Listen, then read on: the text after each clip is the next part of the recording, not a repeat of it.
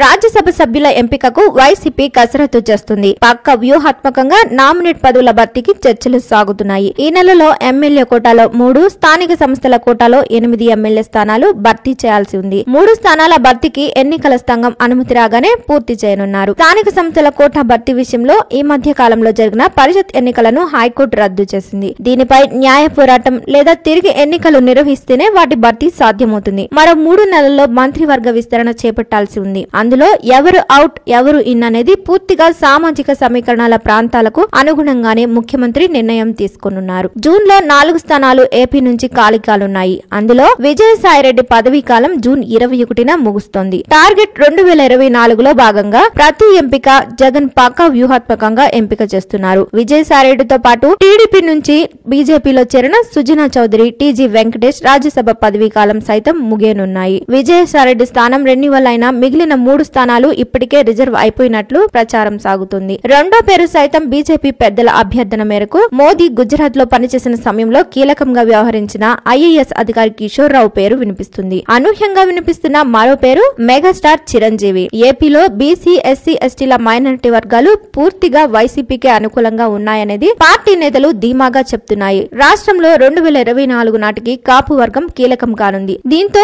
Megastar చిరంజీవిని రాజ్యసభకు nominate చేయాలని వైసీపీ భావిస్తుంది. పరిపాలనలో మూడో ఏటా అడుగుపెట్టిన జగన్ కొత్త వ్యూహాలను అమలు చేస్తున్నారు. గతంలో తన తండ్రితో సన్నిహితంగా మెలిగిన చిరంజీవిని రాజ్యసభకు పంపాలని భావిస్తున్నట్లు విశ్వసనీయ సమాచారం. జగన్ ముఖ్యమంత్రి అయిన తర్వాత ఇప్పటికే రెండు సార్లు చిరంజీవి అమరావతి వెళ్ళి జగన్ను కలిశారు. చిరంజీవిని తమ పార్టీ నుంచి రాజ్యసభకు పంపితే కాపు ఈక్వేషన్ వర్కౌట్ ఉందని వైసీపీ అంచనా వేస్తుంది. ఇక ఇదిలా ఉంటే వైఎస్ జగన్ ఇటీవల ఢిల్లీ పర్యటన చేపట్టిన సంగతి తెలిసిందే. రెండు రోజుల పర్యటనలో భాగంగా పలువురు కేంద్ర ముఖ్యమంత్రులను జగన్ కలవడం జరిగింది. రాష్ట్రానికి సంబంధించి కేంద్రం నుంచి రావాల్సిన పెండింగ్ నిధులు పోలవరం ప్రాజెక్టు నిర్మాణ పనులు కర్నూలు హైకోర్టు అదే రీతిలో వైజాగ్ స్టీల్ ప్లాంట్ ప్రైవేటీకరణ రాష్ట్రంలో ఫెయిలైన కాలేజీల పర్మిషన్ వంటి అంశాలపై కేంద్ర మంత్రులతో జగన్ వరుస భేటీలు అయి చర్చించడం జరిగింది. ఈ భేటీలో భాగంగా కేంద్ర పట్టణ గృహ నిర్మాణ శాఖ కార్యదర్శి దుర్గా శంకర్ మిశ్రాతో భేటీ అయ్యారు. ఈ సందర్భంలో రాష్ట్రంలో దాదాపు ముప్పై లక్షలకు పైగా కడుతున్న ఇళ్ళ కార్యక్రమం గురించి చర్చించడం జరిగింది. మౌలిక వసతులు